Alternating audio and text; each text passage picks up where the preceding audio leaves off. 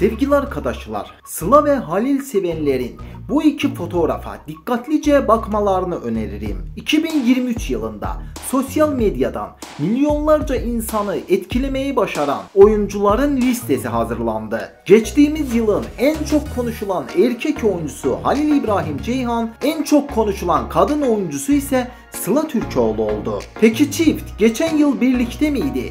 Tabii ki hayır. Burada küçük bir nüans var. Hatırlarsanız bir zamanlar böyle bir algı vardı. Onları ünlü yapan ve herkes tarafından sevdiren etken birlikte rol almaları ve aşkı gerçek oynamalarıydı. Tüm hayranlar kesinlikle bu fikre katıldı. Bunu sık sık yorumlarında dile getirdi. Gerçekten sanki ikisi de bir bütün halindeymiş gibi görünüyordu. İkisinden biri ayrılırsa çabuk unutulur ve kimse tarafından konuşulmazdı. Ama bakın ne oldu.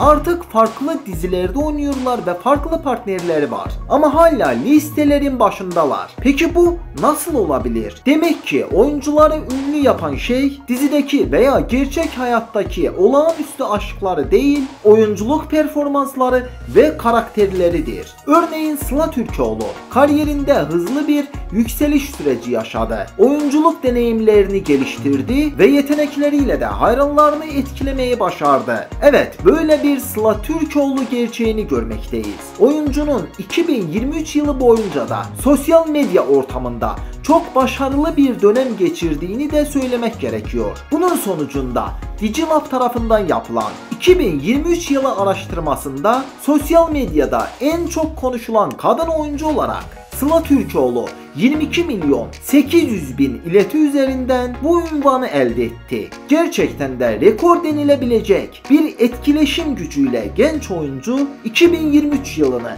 kariyeri adına zaferlerle dolu bir yıl ilan etse kimse şaşırmaz. Halil İbrahim Ceyhan da keza sadece Türkiye'de değil Dünyanın birçok ülkesinde çok geniş bir hayran kitlesinden destek gören Halil İbrahim Ceyhan 2023 yılı boyunca da en çok konuşulan erkek oyuncu olarak göz kamaştırdı. Ceyhan'ın 21 milyon 400 bin paylaşıma konu olması ile sosyal medyanın en çok konuşulan erkek oyuncusu olarak rakiplerine fark attığını görebiliriz. Rekor denilebilecek bir etkileşim gücünü elinde bulunduran ve 2023 yılında sosyal medyadan milyonlarca insanı etkilemeyi başaran Halil İbrahim Ceyhan adına daha oyunculuk macerasının başlarında bu kadar güçlü bir sosyal medya desteği bulması büyük bir başarı olarak kabul ediliyor.